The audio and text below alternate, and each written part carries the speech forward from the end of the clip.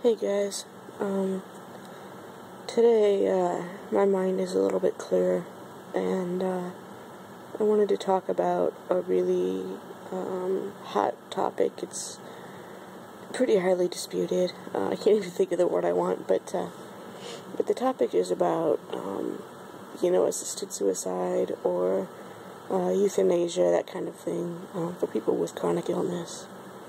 And, um, I posted about this on Facebook a while back, um, just a brief comment, um, that has gotten so many uh, replies and uh, is kind of stirring up a debate.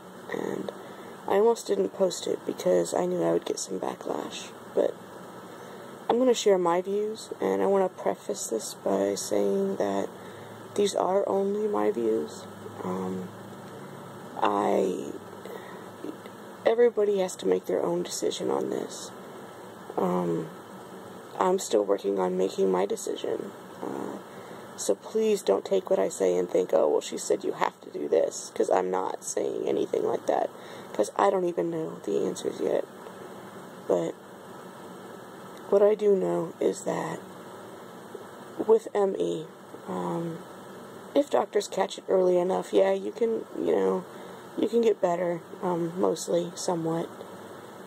Uh, if they don't catch it and it continues to progress, the patterns that I've seen, uh, and I've spent hours researching this, um, there's a certain progression of symptoms, and they get worse over time.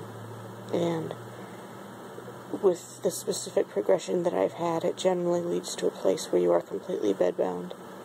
Um, you can't handle any stimulus, stimulus, stimuli, uh, light, sound, touch, uh, any of that.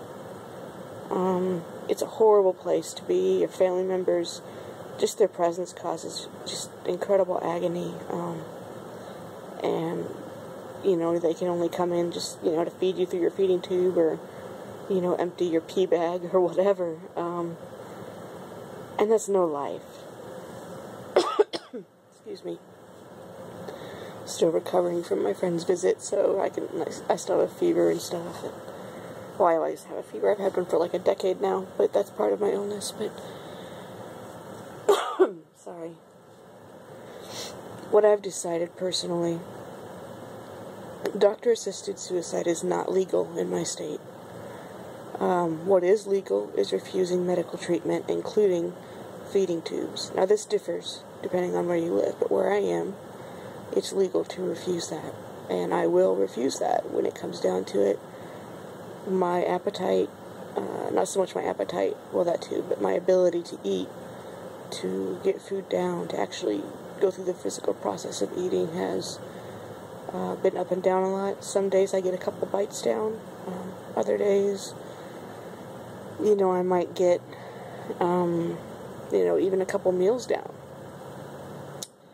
Uh, most days it's in between. I, most days I get about one meal down, but it takes me a while to get it down. So, um, when it comes to the point where my body can no longer naturally uh, eat food and process it and so on, then you know that'll be it, and that simplifies it for my family.